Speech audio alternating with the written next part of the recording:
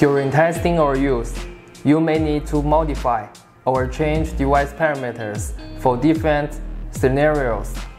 The Settings Center of WiFiKit can meet your requirements. In previous sections, I have mentioned the setup function several times. It is a quick way to understand supported functions and configuration schemes of a dashcam. Now, let me show you how to do that. First, open WiFiKit and connect to the device hotspot to access the dashboard. Tap on Settings to access the page. It includes two function models, the menu configuration and the template management and configuration. In menu configuration, all device functions are categorized. Tap on different categories. You can access the corresponding set page and configure accordingly. Each time a configuration is complete, tap on Confirm to save the setting. You can modify and verify the site parameters anytime to make sure they meet your specific needs. Now, I will walk you through the specific steps.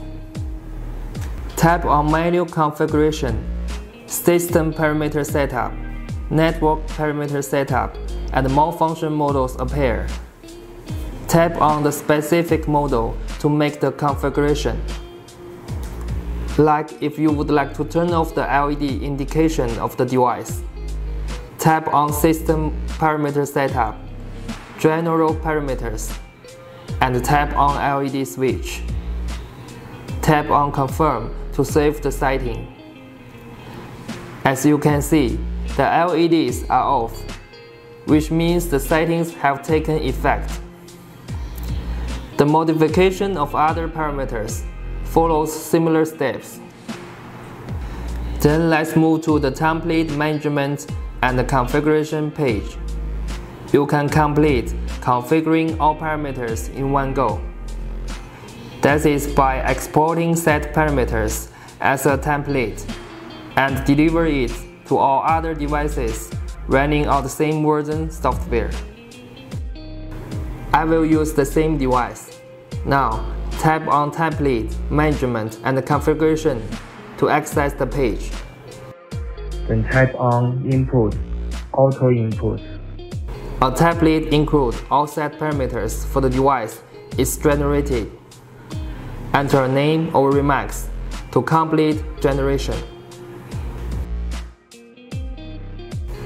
Then prepare a new device and power it on.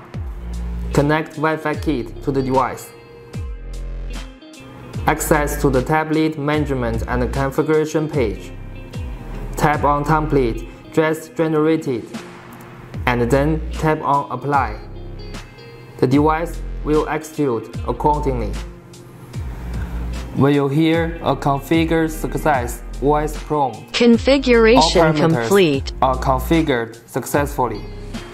Otherwise, the configuration fails due to the failure to configure some parameters or that the current template is not compatible with the software version of the device. It should be noted that the config templates are cache files. If you uninstall the app or clear the cache, these config templates will also be deleted. Therefore, we developed the batch export feature. You can backup all config templates to your mobile or share them with your team. That's all about setting parameters. All features updates of this app will be based on this.